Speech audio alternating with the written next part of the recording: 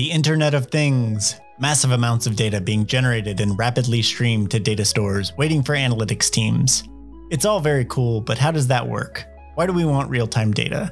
Can't we just speed up traditional ETL to make it seem like real time? Let's go over a couple architectures that answer these questions.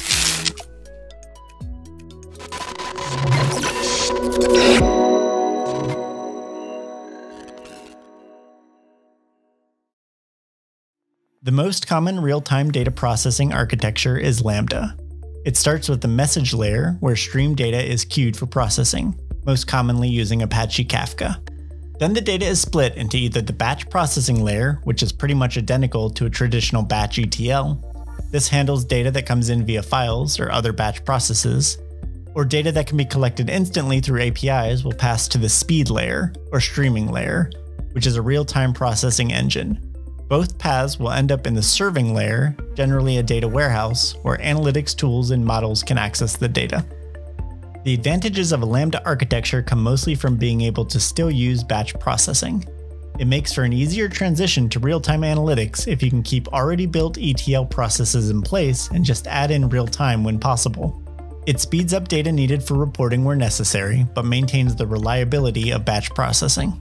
It's also easier to add in validation and data cleanup during the batch processing to fix any errors introduced by the streamed data. For instance, if a value is entered in real time, then gets manually adjusted at the source, this can be easily corrected during a nightly batch process. The disadvantage is the complexity. It is essentially two data pipelines. Batch tools as well as streaming tools will need to be used, each with their own code bases.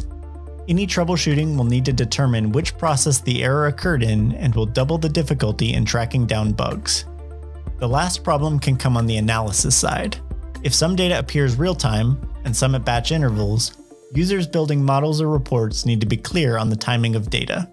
For instance, if you have sales data streamed directly from your sales system, but a nightly profit and loss report from your accounting system, this needs to be made clear to users or there will be lots of questions why numbers don't match on reports.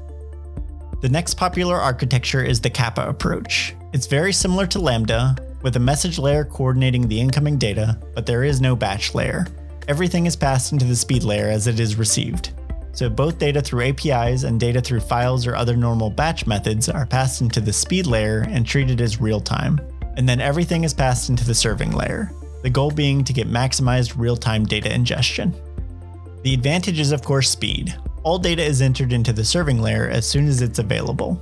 If building from scratch, avoiding any batch processes and ensuring all data can be streamed is ideal in the Kappa world. It's a much simpler architecture compared to Lambda, with fewer tools, processing engines, and code required. And users know that the data they can access is the most current view of the organization.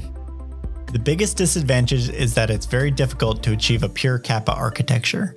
In most people's reality, we still deal with a lot of batch data, People love using files to transfer data, and we interact with lots of legacy systems that can't stream data. Data in source systems is often volatile, with lots of changes to it, so the amount of work trying to detect changes with data already brought in can negate any advantages to the simplified design. Other scenarios to consider is duplicate events being streamed, cross-referencing with already existing events, and ensuring events that happen in a specific order maintain that order. So how do Lambda and Kappa compare? Obviously, if all sources can stream data via API, Kappa is perfect. If you have a lot of batch processes to deal with, start with Lambda and work towards eliminating batch when possible. If your end use for the data, like reporting or machine learning models, output differently when they don't have access to all the data within a batch window, both models can be difficult. But with Lambda, it may be easier to clearly indicate what data in the serving layer is partial and what includes the full batch load. Thanks for watching. If you enjoyed this video or learned something, a thumbs up would be really appreciated. Stick around for more data content by subscribing to the channel or clicking a video on screen. See you in the next one.